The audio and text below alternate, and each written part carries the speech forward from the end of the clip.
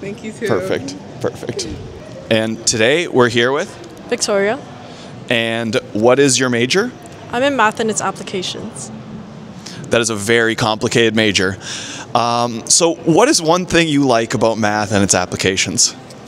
Um, honestly, I really like the applicability to it. Kind of a basic answer, but honestly, I feel like with math in general, there's just so much to learn and so much kind of like hidden knowledge. Like math is everywhere, but we don't really know how. You know, whether it's in comp sci, in econ, um, like all of that. So I really just like learning, like how or no, I really like just seeing how it applies to real life, and just like the pure math stuff is really cool and really fun too.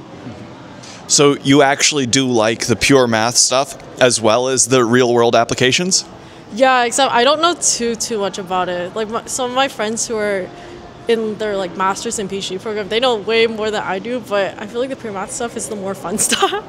so it's just really cool seeing all that. But again, I don't I don't know too much, so I can't act, act like an expert in it.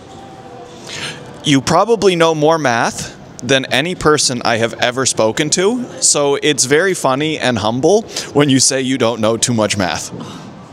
Oh, I mean, Don't worry, don't worry, don't worry. Anyways, so have you always been good at math?